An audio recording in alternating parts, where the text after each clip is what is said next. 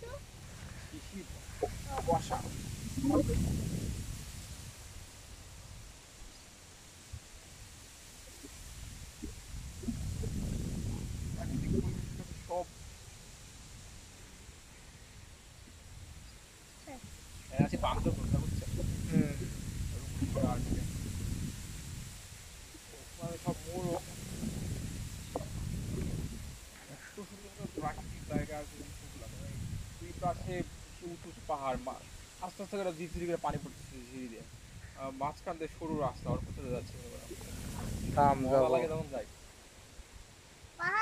আর কিছুদিন যাক। পাহাড় দেখতে যাওয়া হয়নি।